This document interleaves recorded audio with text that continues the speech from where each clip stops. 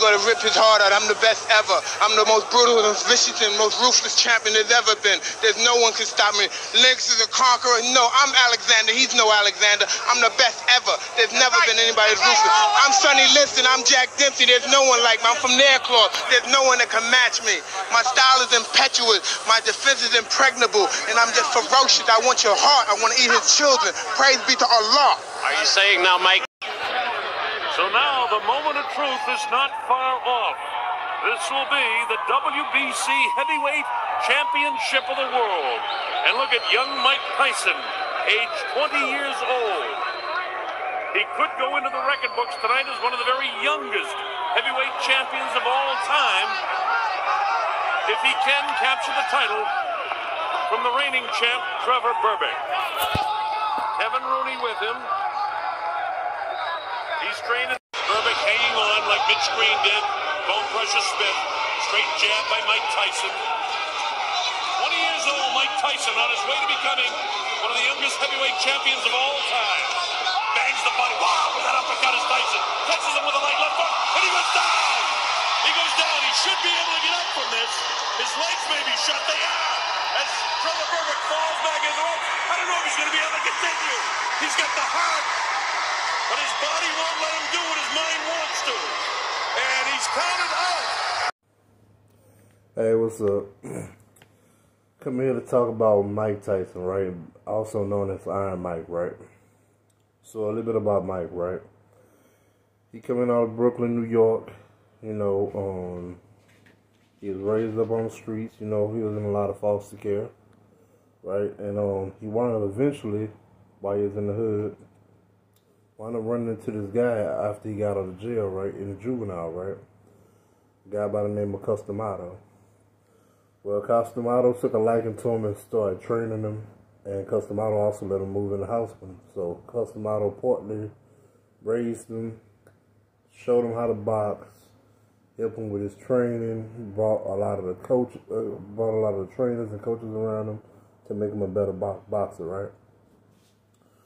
Well, Mike coming up on the streets, you know, he used to snatch purses. He used to, he used to, we grew up fighting just from, because he was one of the biggest kids around, so he grew up fighting around me and any kids when he was a child, right?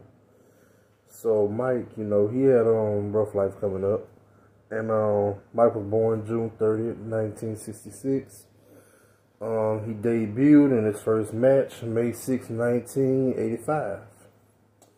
So, you know, um, between his like amateur career, is not really much of him in the amateurs really, but um, I'm pretty sure with Cus D'Amato and his street, him street fighting, he really have to do a lot of amateur because by the time he got to Cus D'Amato, he was already fighting. It just didn't have a real technique, form, boxing status to it, and custom Cus D'Amato helped formulate the boxer that we know now as Mike Tyson, Iron Mike.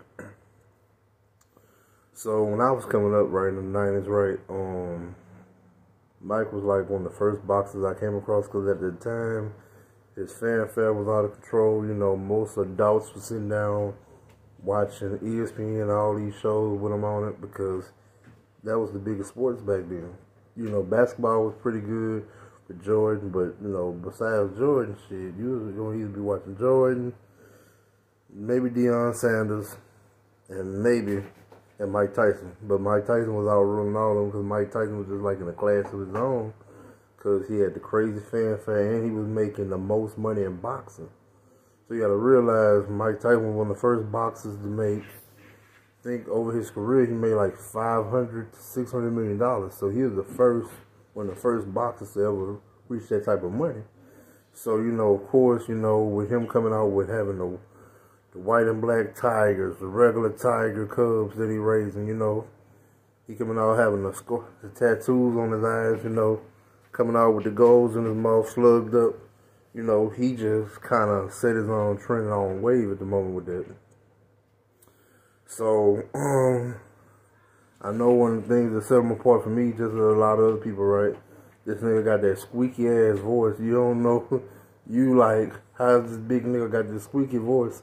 And but the voice just kind of gets you off guard depending on where you're talking and how his pitch is. But at the same time, in the '90s, he was basically running the '90s. You know, with um his knockout record, he went 19 KOs in his 19 first fights. So you know, I don't even think that ever been done. And then he was knocking these guys out in like less than a minute. Some of the guys ain't even make three minutes in a round. He was putting them down for the count. And one of the reasons I came to admire Mike Tyson, you know, once I learned about like boxing and professional sports, a lot of boxing matches, sports, football, NBA, a lot of it is rigged, right? But you got to realize something. And Mike Tyson, with Mike Tyson era, with Don King, they didn't rig a lot of Mike Tyson fights because I don't know if you remember back then anybody could challenge the heavyweight champion of the world. But he, some of them guys used to be very selective about who they would fight that was challenging the heavyweight champion of the world. So that means, you know, if a guy just ain't got no record, you know what I'm saying? A lot of times they wouldn't fight him. You know, a guy would have to have a good record, have to have a buzz, have to have a name. You know, but you got to remember, Mike was fighting everybody. So this means, that's why a lot of times, like, Mike is probably big to regular people, but you got to realize, you know he wasn't picking his fights because he was fighting giants. This nigga 5'10", he was fighting niggas 6'5", 6'7", 6'8". You know what I'm saying? He was fighting niggas, even though he was heavyweight division, he was fighting niggas way bigger, way taller. And then, in a lot of cases, how you know they be rigging a lot of the boxing matches. Anytime you catch one of them fighters like Floyd, any one of these niggas where they outdoing the other boxer real bad, and they like making like a spectacle of the other boxer, you know this shit gotta be rigged because typically, why wouldn't you want to fight someone close to the same speed and what you is? Because then if you, it'll be a more of an even match. If you fought somebody on the same page as you, y'all gonna drag the fight out more because y'all so evenly matched. It just gonna come down to who got the bigger heart. But a lot of these cases with these other boxers, you know, even Muhammad Ali, his fight was rigged, but he didn't know. You know, the, the promoters behind him was rigging the fights, but Muhammad Ali didn't know. So he was just, he was fighting niggas and, you know, he didn't know they was rigged. Like, um, his biggest fight, they had all that publicity on the Rumble in the Jungle. I believe that's the name of it. Um, that was rigged. You know, um, one of his other fights, they rigged. But you gotta realize, Mike, Mike, a street, a guy coming from the streets, partly raised by Cus D'Amato and group homes and all this shit, and out of jail from a juvenile, you know what I'm saying? you gotta realize, them people from where he come from, even with Cus D'Amato, cause Cus D'Amato wasn't a big train at the time, but he was big for that area, in that area that it was in. But the world didn't know Cus D'Amato.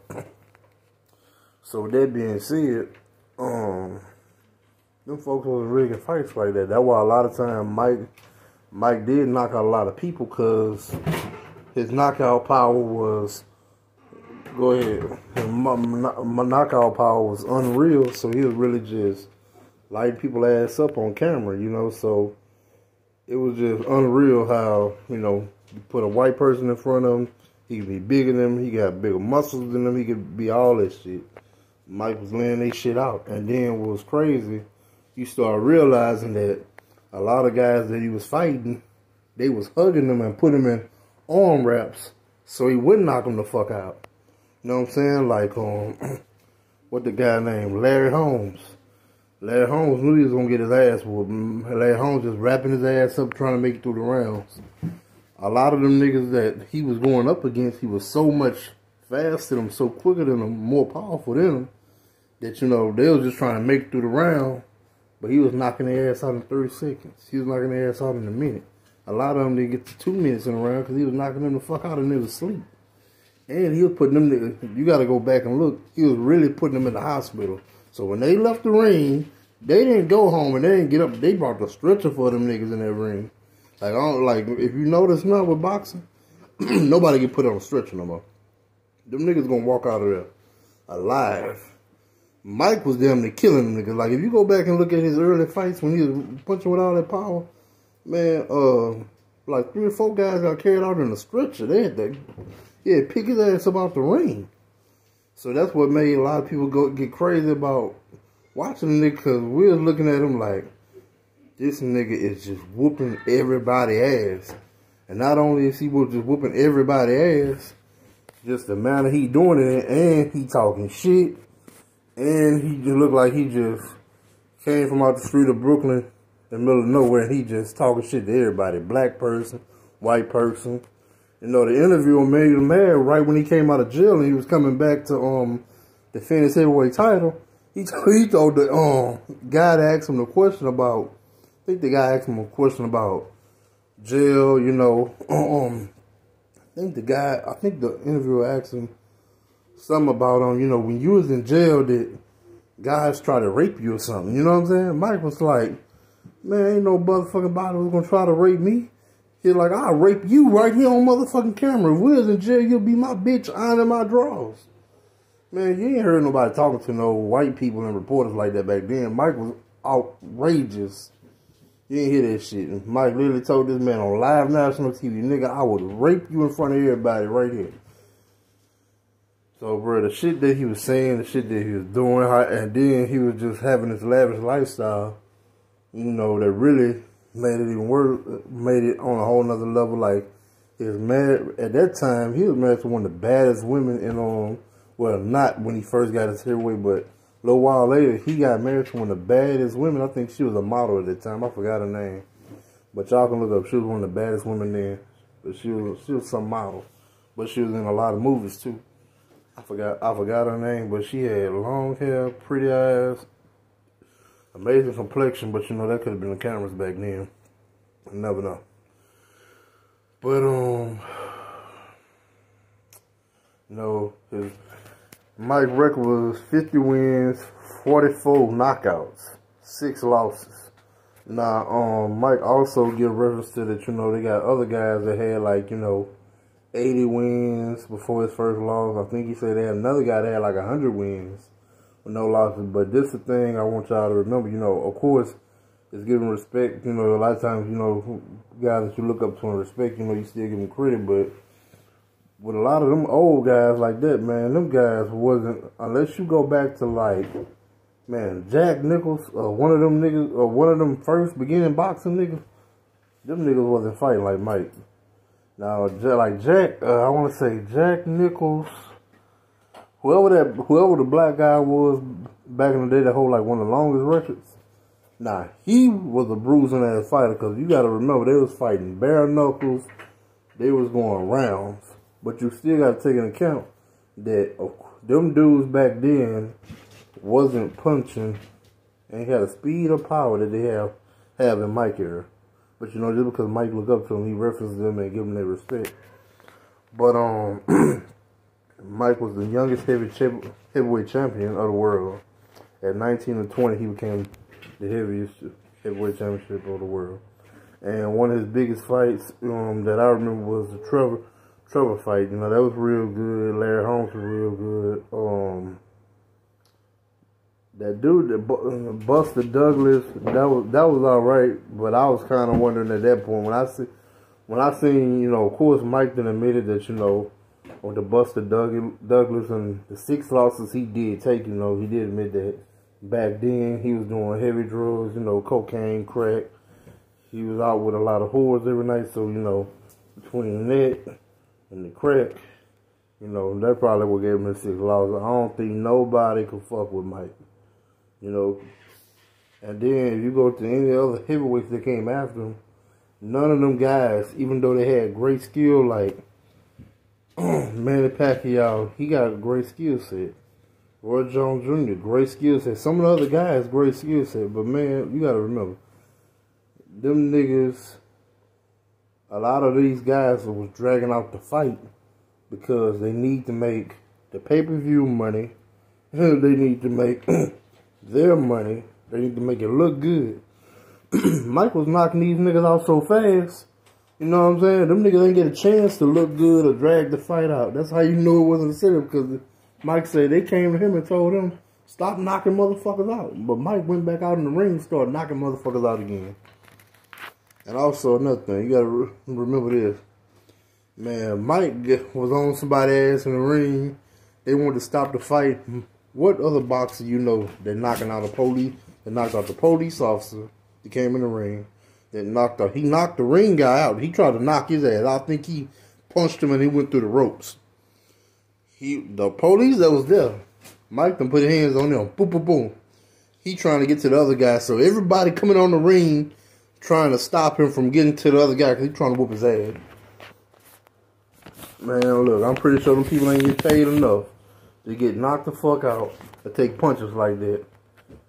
I'm pretty sure they ain't, they ain't got paid enough. They probably just had got their ass whooped for trying to do their job, intervening. But I'm pretty sure the ass whooping and punches they took along the way wasn't worth it.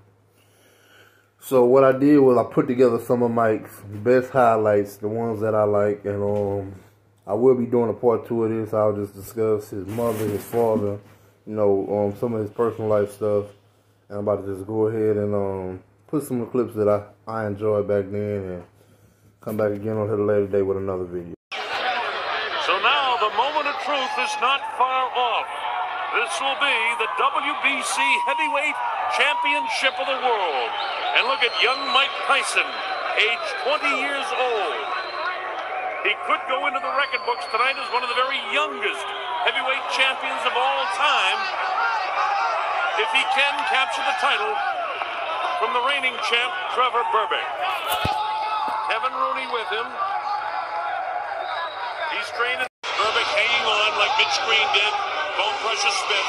Straight jab by Mike Tyson. 20 years old, Mike Tyson on his way to becoming one of the youngest heavyweight champions of all time. Bangs the body. Wow, that uppercut is Tyson. Catches him with a right left hook, and he goes down. He goes down. He should be able to get up from this. His legs may be shut. They are. As Trevor Berbick falls back in the ropes. I don't know if he's going to be able to continue. He's got the heart, but his body won't let him do what his mind wants to. And he's counted out. The way he's backing up, he's got to do something a little bit more than this if he's going to try to win some rounds here.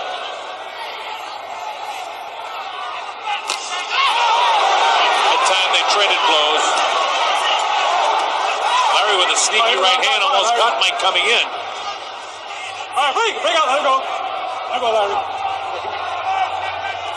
38 years old. Larry Holmes is in magnificent shape. Big question is how long can his legs stay strong? There's a lot of pressure on him constantly in this fight. He has to stay moving and stay moving on those legs away from Mike Tyson. Larry giving plenty of respect to the champion. Lets the right hand go, but Mike very slick ducks it. Holmes comes with an uppercut of his own. Tie him up. When Larry was up on his toes and sticking and moving with that left hand, that's the way to fight Mike Tyson. But a 38-year-old Larry Holmes cannot continue that round after round. Oh, a big right hand,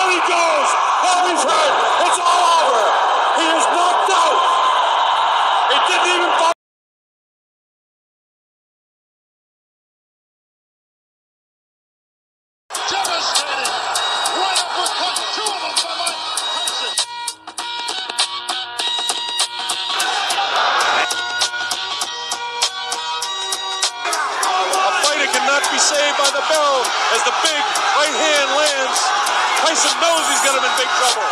If he doesn't answer it, Richard Steele has moved in and has stopped the fight. It's all over.